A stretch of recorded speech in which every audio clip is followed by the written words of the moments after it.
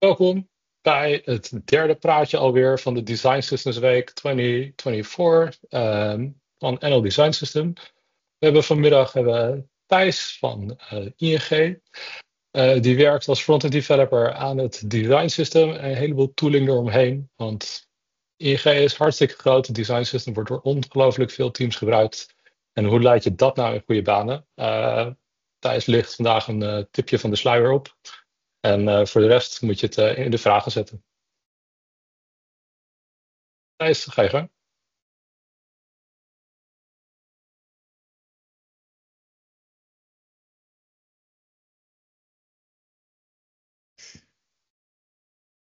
Ja, sorry, ik moest even het goede, het goede scherm vinden. Ja, dankjewel voor de intro. Um, zoals uh, Robert al zei, dit gaat over design systems op schaal. Iedereen kan me horen, toch? Ja. Um, ja, even heel kort iets over mezelf. Uh, ik werk dus voor ING als front-end developer.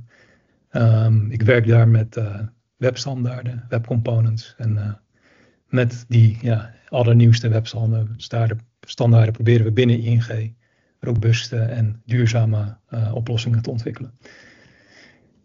Uh, ja, een kort overzicht van uh, deze presentatie.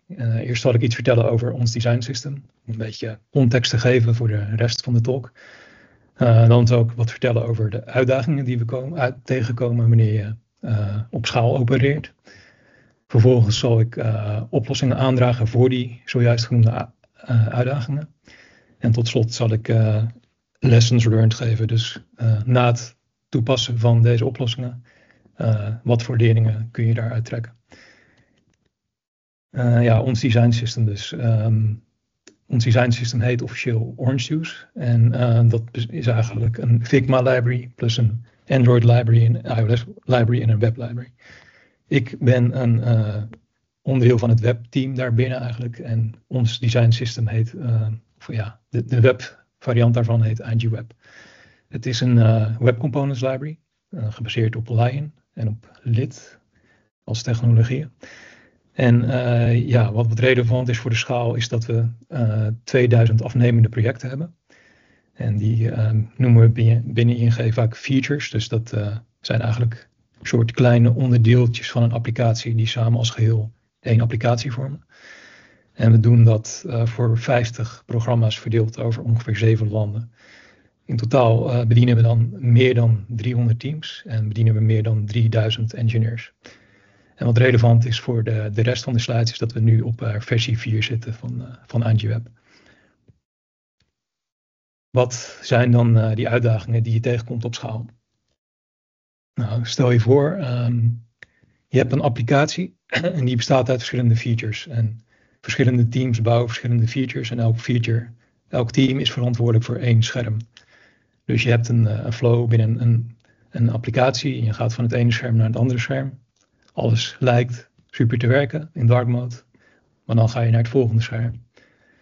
En die is niet in dark mode, maar in light mode. Dus dit is een, bijvoorbeeld een illustratie waarom uh, ja, werken op schaal uh, belangrijk is. Dat het uh, smooth verloopt, dat al je teams ja, tegelijkertijd kunnen upgraden naar je dark mode versie bijvoorbeeld. Dit is één voorbeeld, maar meer algemeen getrokken. Um, ja, wil je eigenlijk dat uh, je, je software landschap zo, zo simpel mogelijk is. Um, hoe minder het bestaat uit allemaal uh, legacy kleine onderdeeltjes die weer met elkaar moeten samenwerken via orchestration layers die compatible moeten zijn met elkaar. Hoe betere kwaliteit applicatie je kunt leveren eigenlijk. En hoe makkelijker ook jouw leven wordt voor zowel de maintainer van het design system als eigenlijk uh, jouw afnemers. Dus je wil van een uh, ja, gefragmenteerd landschap, wil je eigenlijk het liefst zoveel mogelijk naar een uh, uniform landschap. dus elke keer dat je een nieuwe versie van een design system released, is het dus een uitdaging om je consumers up-to-date te krijgen. Um, en eigenlijk is het toch heel belangrijk dat je dat wel probeert te doen. Want alleen als jouw consumers up-to-date zijn, kun je de beste user experience leveren, leveren. De beste kwaliteit applicaties leveren, de beste performance en de beste interoperability leveren. Dus hier zal ik daar wel dieper op ingaan. Um, ja, voor user experience hier zie je aan de rechterkant, aan de rechterkant zie je Material Design 3 en aan de linkerkant zie je Material Design 2. En je ziet dat, ook al is de kleurstelling hetzelfde, het zijn beide paarstinten, qua look en feel zijn ze heel verschillend. Niet alleen vanwege de kleur, maar ook vanwege de, de spacings, de, de border radiuses, alles. En eigenlijk ehm, wil je niet dat als de klant van het ene scherm naar het andere scherm navigeert, dat je een verschil ziet tussen Material Design 2 en 3. Je wilt dat alles op de laatste versie is. Uh, het is, bijvoorbeeld ondenkbaar dat Android een nieuwe versie van Android uh, uitrolt, waarbij verschillende schermen verschillende look en feel van Material Design hebben. Als je de nieuwste Android downloadt, is alles Material Design 3. Um, ja, voor, voor, je website wil je eigenlijk het liefst hetzelfde. Je wilt dat alles gewoon on-brand is en dan de laatste versie van die brand. Um, en zeker met het voorbeeld van net, die dark mode. Het is gewoon ondenkbaar dat je van een dark mode scherm naar een light mode scherm navigeert binnen één flow. Um, dus ja, de enige manier waarop dat mogelijk is, is doordat je is dat jouw teams gaan uh, migreren naar de laatste versie. Ook voor de appkwaliteit is het belangrijk dat dat gebeurt. Um, je wilt dat je, je consumers de beste features hebben, of ja, de, de, de laatste versie van je tech stack, dus lid in dit geval. Maar ook de components, de laatste versie, hebben de beste features. En ook de kwaliteit van die components is over het algemeen veel beter. Ze hebben de laatste accessibility bugs opgelost. Ze zijn compliant met de European Accessibility Act in dit geval bijvoorbeeld.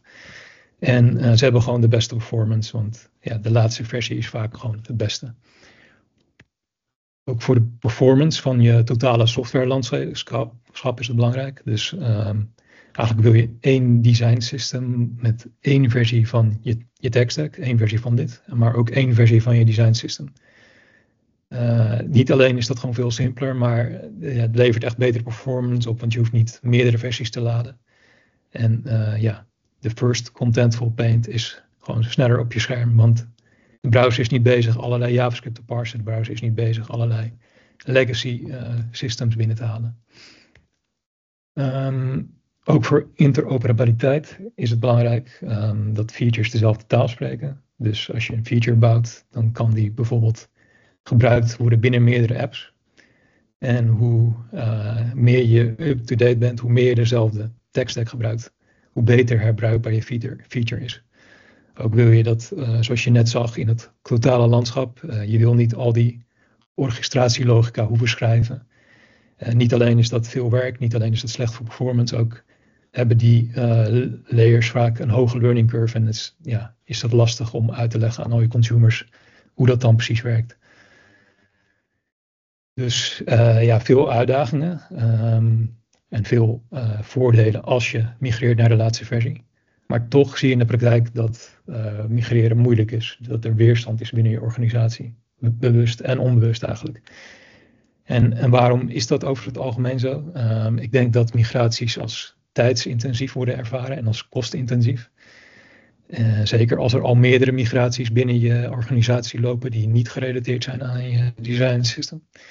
En ook vaak is het zo dat um, ja, product owners geen business value zien in het migreren. Dus dat is uh, een stukje bewustwording dat vaak uh, ook mist. Dus de centrale vraag is eigenlijk uh, hoe krijgen we teams naar de laatste versie van ons design system. En dan binnen een, hoop, ja, binnen een grote organisatie ook vooral. Ja, er zijn verschillende oplossingen voor mogelijk, die wij ook toegepast hebben in het verleden. En die zullen hier even uitgelicht worden. In, in het algemeen is het vooral belangrijk ook dat je voorspelbaar bent. Dus een, een predictable uh, release space. Dus in plaats van uh, om de zoveel jaar, dan weer twee, om de twee jaar, dan weer om de drie jaar, dan weer om het half jaar te releasen, proberen wij elk jaar één release uit te brengen.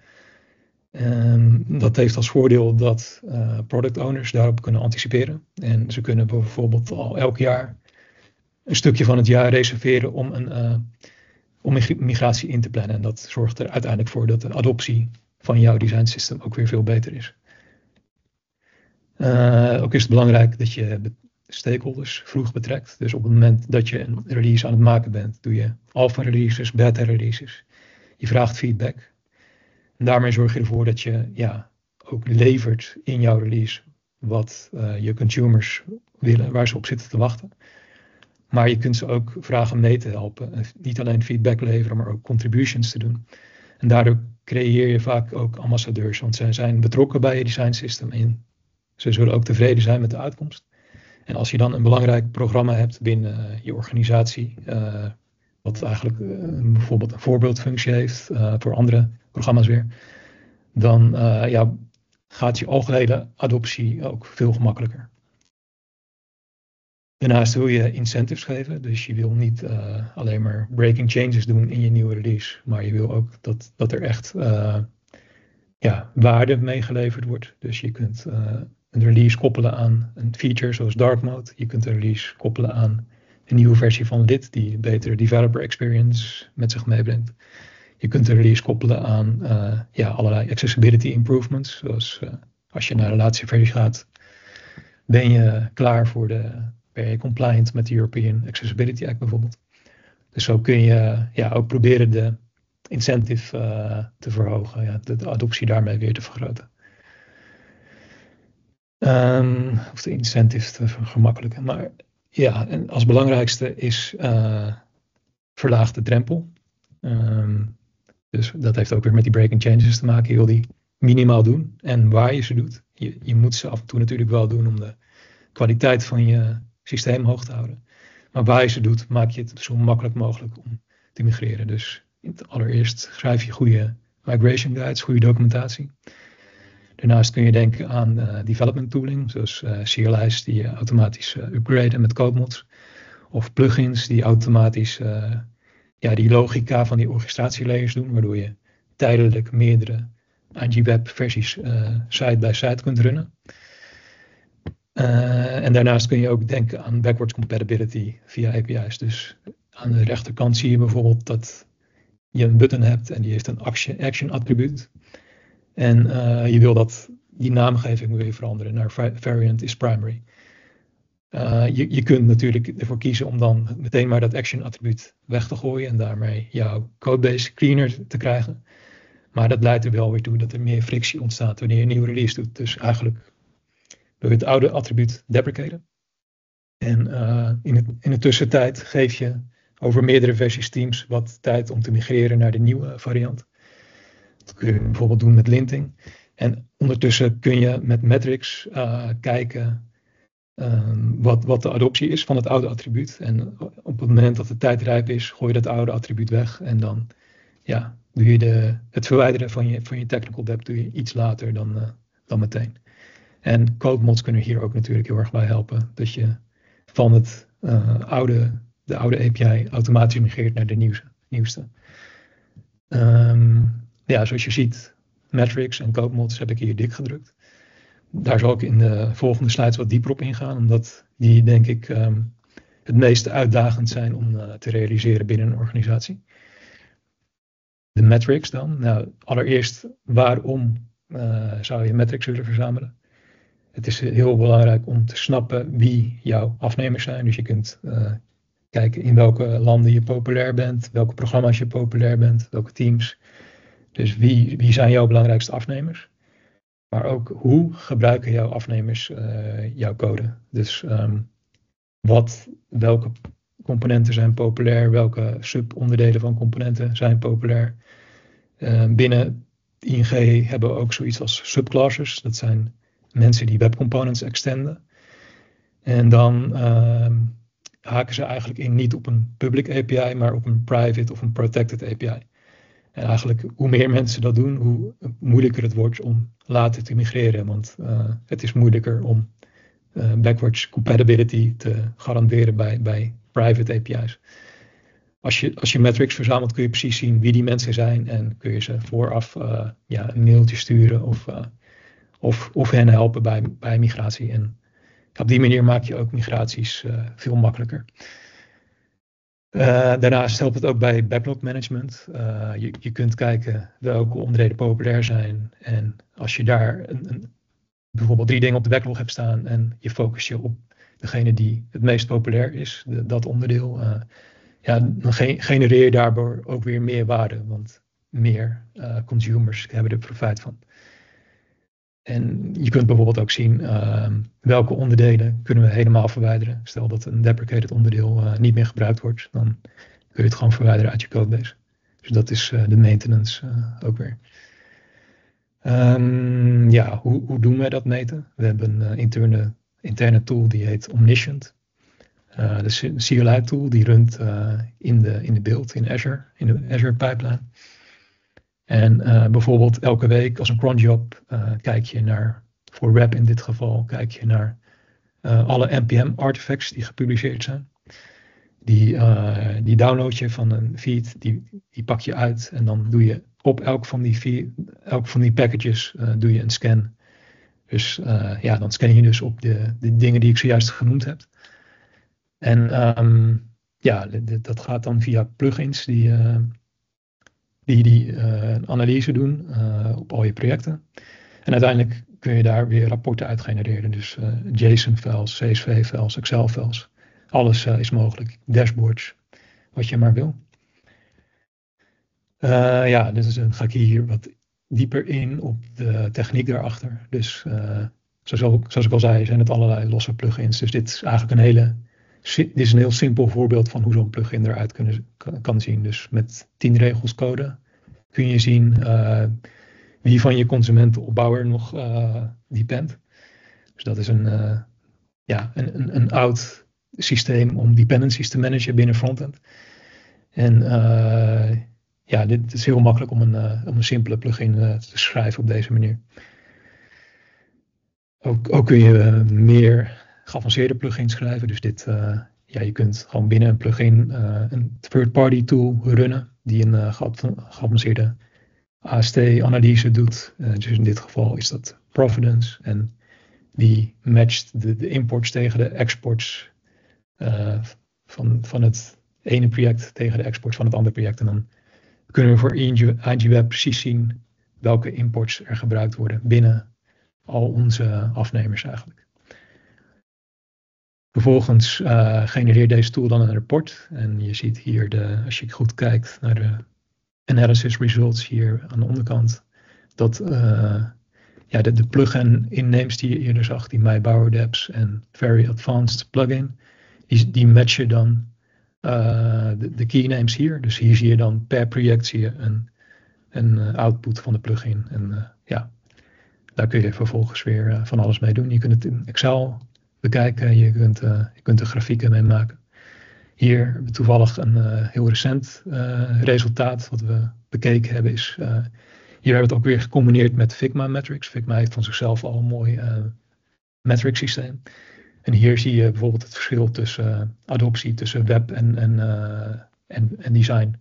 En deze negatieve nummers geven aan die rode nummers dat, ja, dat developers niet strikt het design hebben gevolgd, maar uh, iets afwijkends zijn gaan doen. Bijvoorbeeld hun eigen variant van een component hebben gemaakt. En dat soort dingen wil je natuurlijk ten alle tijde voorkomen eigenlijk. Uh, ja, een andere belangrijke oplossing naast metrics zijn code mods. Um, misschien voor de mensen die niet weten wat een code mod is, is het eigenlijk een, een, een tool, een ja, die automatisch je code uh, modificeert, denk ik dat het vandaan komt. Dus automatisch een uh, migratie doet, automatisch een update doet. ik denk dat dat heel erg ingezet kan worden als drempelverlager. Dus het is heel erg een incentive waardoor de migratie niet twee maanden duurt, maar twee weken misschien wel. Dus ja, het kan de migratietijd aanzienlijk verkleinen. Hier een, een, ja, praktisch voorbeeld dat we ook Ja. Er zit een of andere timer op. Ja. Een praktisch voorbeeld van een, uh, een, een, migratie die we ook echt hebben gedaan, dus voor dark mode. Uh, we gaan daar dus van een, als je aan de bovenkant ziet, uh, een, ja, een, een, kleursysteem waar, waarin we de kleuren benoemen, zoals orange, white, bla bla bla. Gaan we naar meer semantische naming toe. En ook een, een andere technologie, dus uh, CSS-variables, variables in plaats van uh, ja, een soort van CSS in JS-achtige formaat. Dus ja, als al je teams dat moeten doen, is het best wel een ingrijpende migratie. Maar hier kun je dus zien uh, ja, aan de rechterkant zie je hoe dat dan runt op een, op een monorepo. Zie je dat voor al die packages doet hij al die verschillende modificaties in één keer. Dus uh, als je even wacht, ja, zie je hier die diff. Dus dan zie je dat ja, heel veel code changes eigenlijk die anders handmatig uh, hadden gemoeten. En dat levert je natuurlijk een ontzettende tijdsbesparing op. Ja, hier is nog een ander voorbeeld van een ander type codemod. Dus we hebben verschillende soorten codemods. En dit is dan eentje die uh, de package JSON doet, maar ook echt de, de imports van je, ja, van je applicatie. Omdat die entry points bijvoorbeeld veranderd zijn. Ja, dus zo kun je heel veel codemods uh, schrijven om het uh, makkelijker te maken. Uh, ja, dat waren eigenlijk de, de oplossingen grotendeels. Um, welke lessons learned, welke leringen kunnen we hieruit trekken um, nadat we dit gedaan hebben? Um, ja, codemods hebben uiteraard heel veel voordelen, maar het is ook een investering in de zin van je moet ze schrijven, er is werk voor nodig, er is uh, expertise voor nodig. En daarnaast kan je ook verwachten dat niet alles in één keer vlekkeloos werkt. Je moet ook support leveren, er zitten bugs in zitten. Dus je hebt wat werk ook nadat je ze gereleased hebt om het helemaal perfect te maken en alle edge cases af te dekken. Maar ja, het voordeel is natuurlijk dat op de lange termijn kun je sneller je oude systemen uitfaseren. En dat betekent ook dat je die niet meer hoeft te onderhouden. Dus in die zin levert het ook weer heel veel tijdwinst op. En uiteindelijk levert het gewoon een veel beter product op uh, voor de klant natuurlijk. Um, ja, reserveer tijd voor support. Dus, dus niet per se gekoppeld aan code mods, maar meer in, aan een release in het algemeen. Um, meestal als je net een release hebt gedaan, dan komt niet de belangrijkste support meteen in de maand daarna. Maar pas in de twee maanden, drie maanden, vier maanden daarna. Als de meeste mensen beginnen te migreren. Dus daar moet je wel ook uh, tijd voor reserveren op je backlog. Expectation, management is ook heel belangrijk als je code doet. Um, ja, het, kan natuurlijk in jouw lokale testcase of uh, in de projecten waarop jij getest, kan het allemaal vlekkeloos werken. Maar uh, ja, er zijn heel veel verschillende soorten afnemers binnen ingegeven met hele verschillende tech stacks. Dus ook um, ja, verschillende soorten dev stacks, verschillende manieren om tests te runnen, verschillende manieren om een lokaal servertje te runnen, verschillende manieren om uh, ja, uh, een, een beeld te doen, roll-up versus, versus backpack. Al dat soort dingen uh, kunnen ervoor zorgen dat de, de, manier waarop jij test, hebt getest net niet werkt. Dus ja, leerling die, lering die we hieruit kunnen trekken is dat het ook belangrijk is om uniformiteit te creëren op het dev tech stack gebied. Dus uh, we doen het al op uh, de browser tech stack, maar ook qua development tooling. ja, moet je gewoon zoveel mogelijk proberen om alignment te, creëren. En het is altijd goed om een, een, disclaimer te doen, want je hebt altijd klanten die denken dat, dat het een kwestie is van één knop indrukken en alles werkt perfect en ze hoeven niks meer te doen. Maar meestal doet het 90 tot 95 procent van de dingen en moet je altijd nog een paar kleine dingen doen. Het levert dus gewoon heel veel tijdwinst op, maar het, doet nooit 100 procent vaak. Misschien in, een enkel geval ook wel, maar uh, je, moet het niet. Uh, ja, je, consumers moeten er niet van uitgaan dat het altijd 100% is. En ja, tot slot, uh, make it easy to do the right thing and hard to do the wrong thing. Dus um, als je van je legacy code af wil, moet je het niet onmogelijk maken om uh, tijdelijk uh, verschillende versies te gebruiken.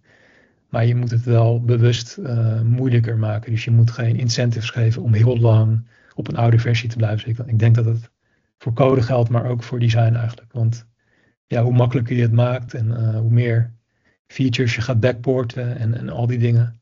Hoe langer je blijft zitten met legacy code en eigenlijk code die je niet, liever niet op productie hebt. Uh, nog even een korte samenvatting. Um, wees voorspelbaar, betrek je stakeholders, geef incentives en verlaag de drempel via het gebruik van metrics en via code mods. Dus ja, dank voor jullie aandacht. En als er vragen zijn, dan uh, hoor ik het graag. Hey, dankjewel voor je super toffe presentatie. Uh, super herkenbaar ook, super veel dingen die je vertelt over nieuwe versies uitbrengen en allemaal mensen die nog op de oude versie zitten. Uh, je, weet je, je, kunt je tijd misschien wel leuker besteden dan erachter komen, oh die bug die is al lang en breed gefixt, maar ze zitten nog op een oude versie. ik heb wat vraagjes hierover gekregen. hoe, allereerst om te beginnen, hoe groot is jullie design system team bij ING ongeveer? Alles bij elkaar, grofweg. Uh, even kijken hoor. Ja, ik denk dat je hebt dan web developers, je hebt Android developers, iOS developers en designers, Figma. Uh, en dan heb je nog, uh, hoe heet het, dev, uh, nee, design op zeg maar. Dus de procurement en dat soort dingen. Dus al met al is het wel een man of 15, 20. Maar ik weet niet of je geïnteresseerd bent in, in het web-specifieke gedeelte of in, in alles wat ik net noem. Ik, ik denk qua web is het ja, 5, 6 ongeveer. Ja, echt heel cool. En ook allemaal dat het een web components is. Jullie zijn natuurlijk beroemd vanwege jullie uh, Lion component uh, library, die ook Wise label is, uh, zodat mensen het ook jullie toegankelijke oplossingen kunnen gebruiken in eigen huisstijlen. Um, ik heb hier nog, ik zag in de, de slide staan dat jullie een long-term support versie hebben staan. wat, wat houdt dat voor jullie in? Hoe lang blijft, waarom hebben jullie die? Um, ja, dit is eigenlijk een beetje hoe uh, ja, professionele bedrijven zoals, of, of, producten zoals Node.js dat ook doen. Um, ja, eigenlijk er, zullen teams misschien zijn die, die denken van uh, ja, we gaan niet meteen naar de nieuwste, want want uh, ja, we hebben al zoveel migraties en we willen niet de jaarlijkse migratie doen, maar tweejaarlijks bijvoorbeeld. En dan bied je toch iets meer uh, support met die, met die LTS, met die long-term uh, ja, versie.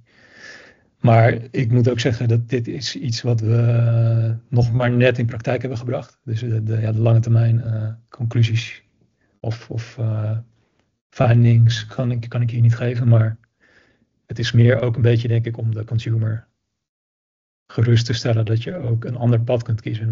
Dat is een beetje misschien een dubbele boodschap. Enerzijds zeg je, je moet naar de laatste. Maar um, ja, ik denk dat het stapje voor stapje moet. En uh, ja, uiteindelijk wil je het liefste natuurlijk dat alle teams naar de laatste gaan. Maar het kan ook, je kunt daar ook kiezen om uh, bijvoorbeeld tweejaarlijks te gaan. En um, ja, het liefste wil je dat ook niet dat je belangrijkste programma's. In het geval van Dark Mode kan het eigenlijk niet. Maar er zullen ook releases zijn die minder uh, urgente changes hebben, waarbij het misschien wel kan. En dan heb je dus uh, ja, ook de optie om op de LTS te blijven. Uh, even kijken, ik, we zijn bij een Design System toevallig ook net begonnen met wat experimenten voor code mods. Dus om de design tokens te migreren naar nieuw, weet je wel, een bestaande huisstijl, mm -hmm. designbeslissingen naar nieuwe versies van componenten. Heb je nog uh, tips of er code mod libraries zijn of zo die je kunt gebruiken? Of hebben jullie het helemaal from scratch geschreven? Nee, ja, wij gebruiken JS CodeShift in principe. En daaromheen hebben we een CLI gebouwd. Maar onder water is het gewoon JS CodeShift. En dat is ook ja, de, de grootste standaard uh, wat dat betreft, denk ik. Um, en die hebben ook wel een ja, goede API wrapper eromheen. En ja, zijn ook compatible met meerdere AST's.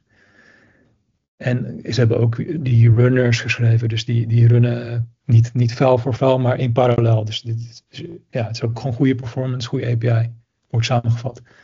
Um, en ja, dat werkt prima voor ons. Dus je moet nog ja, wel nice. mods natuurlijk gewoon beschrijven, maar uh, ja, qua tooling is het vooral JS CodeShift met wat uh, uh, met, met een kleine CLI wrapper eromheen die het wat makkelijker maakt. Want JS CodeShift, JS CodeShift doet alleen JavaScript, maar je wil ook andere dingen migreren, zoals uh, package JSON's en dat soort dingen. Dus er zit een kleine wrapper omheen die dat doet, ook doet. Ja, bedankt voor de tip. Dan gaan we daar ook eens naar kijken. Ja. Ik zag dat je bijhield van hoeveel mensen nou customizations hebben. Uh, jullie gebruiken dus technieken om te herkennen. Ik heb wel eens gehoord van een Figma tracking pixel. om te herkennen of mensen modifications doen. hoe herkennen jullie dat? En geven jullie mensen ook waarschuwingen van hey, foei, je bent customization aan het doen en dat is best wel duur voor ons? Ja, we zijn nog niet op dat niveau dat we die waarschuwingen doen. Ja, we moeten eerst een een goed verhaal hebben. En, en het, het, moet ook mensen niet afschrikken, maar ze moeten wel gemotiveerd blijven natuurlijk. Dus het is niet alleen maar negatieve boodschappen. Maar ja, op dit moment zijn we nog alleen op het niveau dat we het alleen maar meten nog. En, maar wel met het idee om daar later iets mee te gaan doen. Maar we moeten daar nog een, een goed plan voor bedenken. Ja, qua, qua die pixel weet ik niet precies hoe dat zit. Ik, ik naar mijn weten. Ik, ik heb zelf die Figma-metingen niet gedaan. Naar mijn metingen zit dat allemaal ingebouwd in Figma en werkt dat. Ik heb wel eens heel even kort naar zo'n dashboardachtig iets gekeken in Figma. En volgens mij werkt het allemaal heel goed. Maar volgens jou kun je die detachments niet goed zien. Maar dan uh, moet ik uh, ja, dat antwoord verschillend blijven. En dan kan ik. kan ik, ja, ik heb dit jaar eerder een presentatie gezien dat mensen binnen een framepje dat gedetached wordt, een uh, Figma framepje doen van 1 bij 1 pixel, die dan wel de ID mm. houdt of zo. En dan kunnen ze meten waar die dan nog in voorkomt. Uh, ik heb nog ja. tijd voor twee laatste vraagjes. Uh, een van de vraagjes is, naast, doen jullie wel eens, hebben jullie al feedback ontvangen van gebruikers op het design system? Dat ze er blij mee zijn of dat ze meer vertrouwen in jullie product hebben? Of is dat alleen maar indirect dat jullie ervan horen? Je bedoelt als gevolg van het feit dat we die oplossingen hebben doorgevoerd of uh, meer in het algemeen? Ja, gewoon dat jullie een design system hebben met consistente support voor dark mode en dat soort dingen. Hmm. Um, ja, ja, ik denk het wel dat we daar uh, wat succesjes in, in hebben. Ja, bijvoorbeeld een van de belangrijkste programma's, die is helemaal gemigreerd naar dark mode. En die heeft dat dan ook breed aangekondigd. En uh, ja, ja, het is wel. Dat zou een bedankje kunnen noemen. Ik denk ook dat ze ons daarvoor bedankt hebben over, over, voor de support en, en alles. Ja. Maar ja. Ja, ik, ik, weet niet. Um, als, als laatste vraagje. Uh, ik, ik, hoor heel vaak van mensen van, oh, we, hebben geen, uh, we mogen niks delen van het design system, want dan uh, is onze website, die kan met phishing zo nagebouwd worden. Hebben jullie mhm. daar last van? Hebben, hebben phishing mensen wel eens jullie design system gebruikt om ING na te bouwen? Ja, maar wij delen het ook bewust niet. Hè? Want uh, wat we open source is de white label onderliggende laag.